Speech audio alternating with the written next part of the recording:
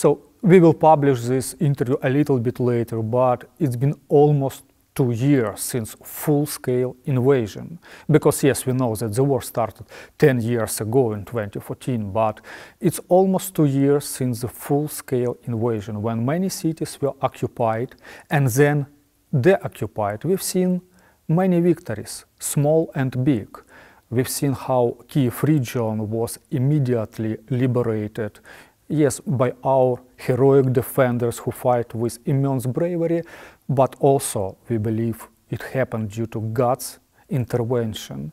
But how would you encourage people to continue fighting both spiritually and physically, defending the nation who don't really know when the war will finish?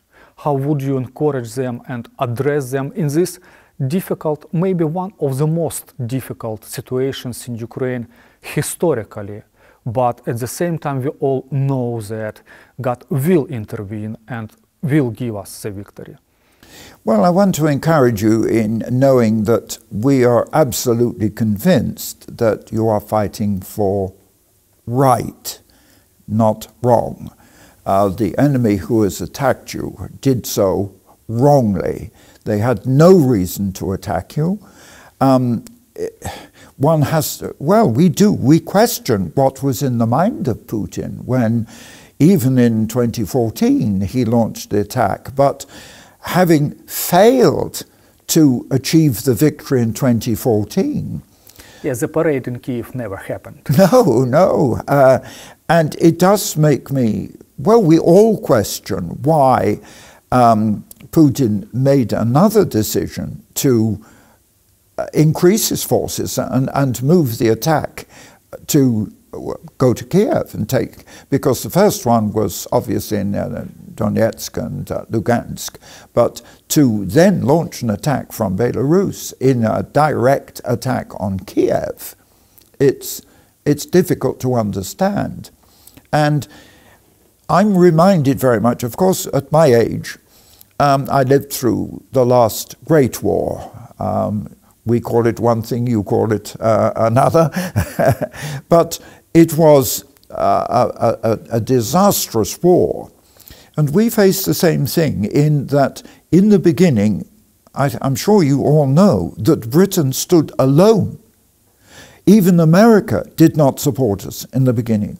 We had no support from anywhere as Germany overran um, of course, Poland, Czechoslovakia, then, of course, France, and then advanced further and attacked Russia.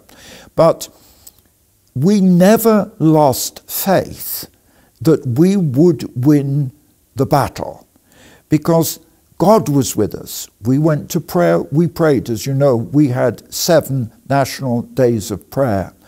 And it's that confidence that kept us, kept me as a young boy through those years.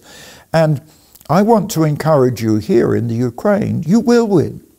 There's no question. It, it's, I, nobody can be precise as to how long this will take, but I do believe uh, that a miracle will happen. Because if you remember, I was with you just three or four days before the war started, on the 20th of February uh, 2022. And I, in prayer, I made two strong prayers. The first one was that no Russian soldier would enter Kiev. They didn't. They were very close, but they didn't actually get in, as we know, because last year we celebrated this by holding a day of prayer in Bucha, where they did capture Bucha, but it, they never got any further. And so it is quite significant. And um, I prayed that God would protect Kiev, but I also asked God for another miracle.